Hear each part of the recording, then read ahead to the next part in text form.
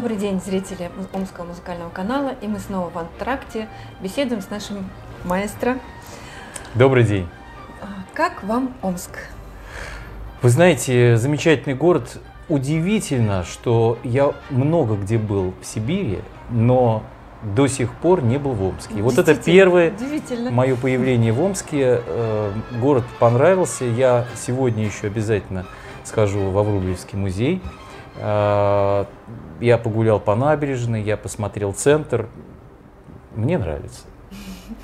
Ну и, конечно же, вопрос, связанный с э, тем, что сейчас происходит во всем мире, наверное, празднование юбилея Рахманинова и вот эти бесконечные марафоны. И наше исполнение, наше с вами исполнение симфонических танцев. Что для вас это произведение и как, э, как вы его трактуете? Вот, это же сложная да, задумка такая авторская. Вы для знаете, это, что, э, это вершина творчества Рахманинова. И на склоне лет Рахманинов это сочинение любил больше всего и ценил. Это квинтэссенция всего творчества Рахманинова, симфонические танцы. Здесь очень много смыслов заложено на самом деле. Это и то, что он э, изначально хотел Потом он от этого, правда, и отказался. То, что трехчастная форма, и первая часть – это полдень, это угу, юность и зрелость. Вторая часть – сумерки – это старость. Ну а полночь – это уже переход из жизни в вечность, но через огромную борьбу – Э, через борьбу сил зла и сил добра. Да? А, здесь можно увидеть музыку апокалипсиса в этом сочинении. И на самом деле Рахманинов был глубоко верующий человек. И то, что он использует здесь знамена распев, песнопение всеночного бдения в финале сочинения, это говорит о том, что он мыслил это как последний бой да, с силами зла. Это же вспомним, когда это было написано. Это было написано в годы, в сороковой год, в, год, в годы Второй мировой войны.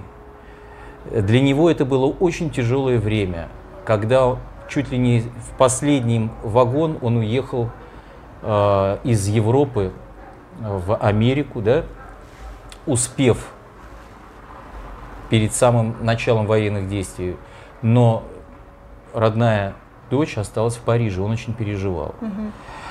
И если вспомним, что из России ему пришлось уехать после 17 года, тоже это Первая мировая война, да, то здесь вот второй удар жизни было начало Второй мировой войны, и необходимость уехать из Европы, попрощаться со своей любимой виллой Синар в Швейцарии, э, в которой он воссоздавал Ивановку. Ну, это личный апокалипсис, действительно. Вот. И тут все вместе, понимаете? Музыка грандиозная и очень много можно додумывать как и любая гениальная музыка, ее нельзя объяснить словами. Понимаете? Там... Здесь еще так много всего, и того, что было написано им, и не только им, и даже того, что еще не было написано даже в то время. Это, э, ну, отчасти это тоже как высказывание то, что такое в квартетах, например, восьмой квартет, когда он просто все собирает, и вот это как бы месиво в голове. И здесь вот тоже такое, что это как исповедь, наверное, Безусловно, исповедь, и это в этом сочинении, безусловно, есть тоска по своей родине, по России. И тема Диесыра, которая последний период творчества Рахманинова его просто преследовала. Да?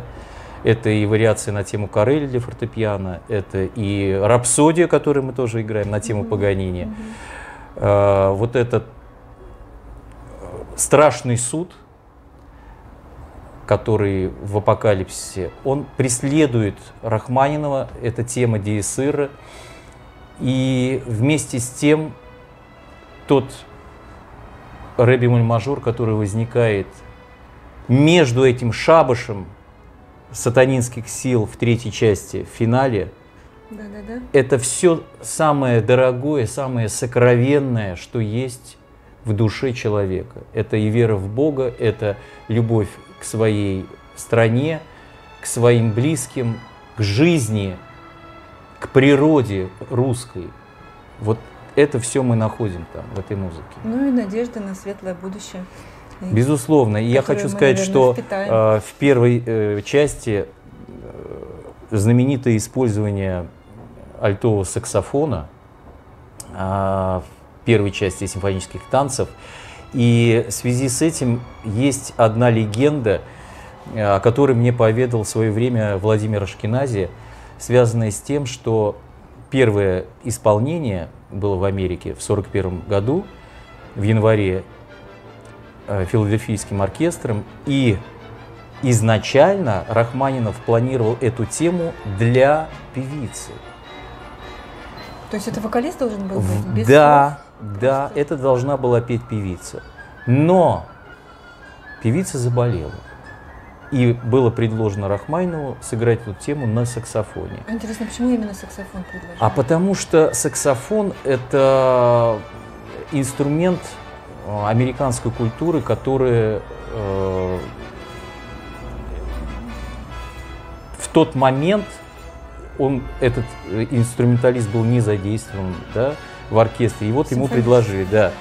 И Рахманинов согласился на это, и мы слышим, насколько вокальная эта мелодия, ее суть, да, ее смысл, он настолько вокален, да, что действительно можно поверить в то, что задумывалось изначально это как пение э, вокалистки.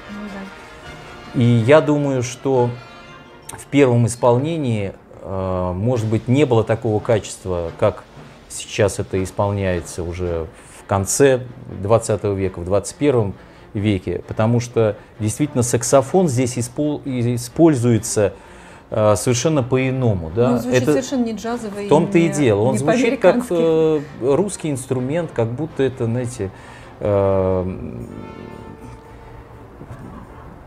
он так всегда звучал, да, как будто, да. А такая кантилена, такое легато и действительно настолько русская эта тема, что вот мы с вами воспринимаем это уже естественно, что там саксофон. Мгм. А в то время это было, конечно, очень необычно. Да, да. Ну и мы сможем оценить, насколько необычно звучит саксофон в э, симфонических танцах Рахманинова прямо сейчас, после антракта. Спасибо большое. Спасибо. Спасибо.